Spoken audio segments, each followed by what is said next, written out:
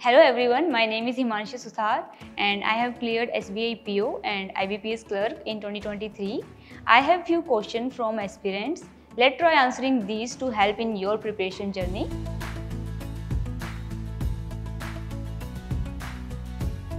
Okay, first question.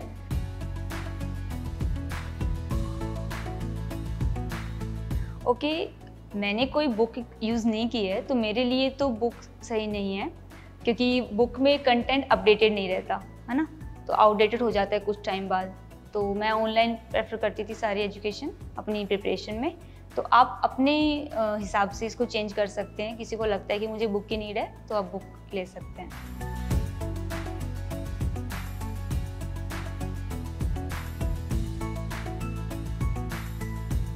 In total we get four attempt हमें चार attempt मिलते हैं but we can say difficult तो है बिकॉज़ आपके प्रिपरेशन का जो फ़ेज़ है, इसमें प्रीलिम्स मेंस और इंटरव्यू प्लस आपका जीडी और ये सब रहता है इसके अंदर। एस बाकी एग्ज़ाम में नहीं रहता है, इसमें जीडी और पर्सनैलिटी टेस्ट अलग से है। डिफ़िकल्ट तो है बट आप में विल पावर है तो ज़रूर कर सकते हैं।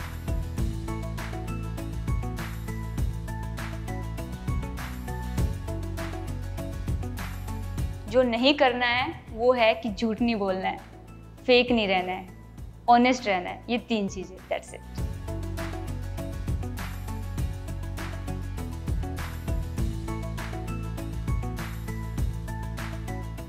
अगर आप उसको दिल से करेंगे तो बॉन्ड कोई भी एग्ज़ाम के लिए नहीं रहेगा, है ना? प्रेशर आपको कोई भी एग्ज़ाम या कोई भी जॉब के लिए नहीं रहेगा। तो चाहे फिर वो एस बी आई पी हो, चाहे वो क्लर्क हो बॉन्ड तब तक नहीं है जब तक आप उसको दिल से कर रहे हैं। That's it.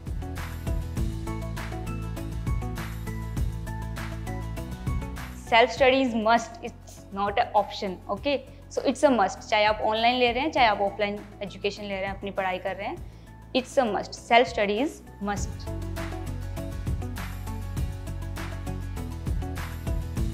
so future and benefits future एक अच्छा करियर ग्रोथ है आपका इसके अंदर।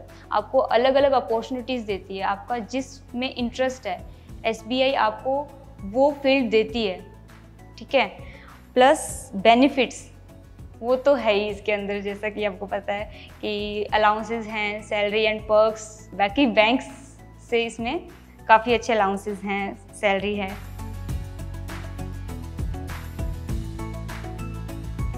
I study for eight to ten hours for me I need more time कुछ स्लो पेसर होते हैं, कुछ जल्दी याद कर लेते हैं। तो अगर जल्दी याद कर लेते हैं तो six hours is enough otherwise I use to be spend eight to ten hours on daily basis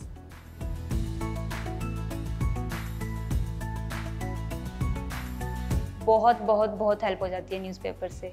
reading plus बाकी एग्ज़ाम जो आप देते हैं, उसके अंदर आपका जो जनरल अवेयरनेस है, वो आपका ऑटोमेटिकली तैयार हो रहा है न्यूज़पेपर के साथ साथ।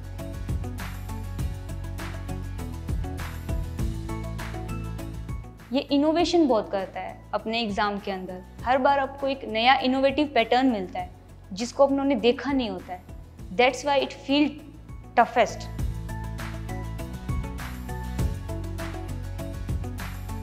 good option is mocks and practice mocks के अंदर जो नहीं आया, उसकी फिर से practice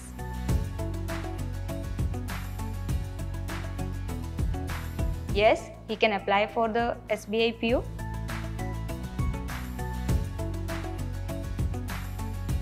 with practice it is easy if you don't practice it will be difficult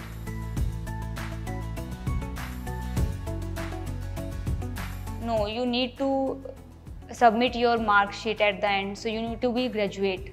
The eligibility is graduation minimum uh, eligibility. मैं आशा करती हूँ कि जो भी रिकमेंडेशंस हैं आपकी जर्नी आपकी पर्सनल लाइफ या आपकी प्रिपरेशन में हेल्प करेगी। और अगर आपकी कोई क्वेरी है तो आप कमेंट डाउन कर सकते हैं। और चैनल को सब्सक्राइब करना शेयर करना और लाइक करना ना भूले। Let's crack it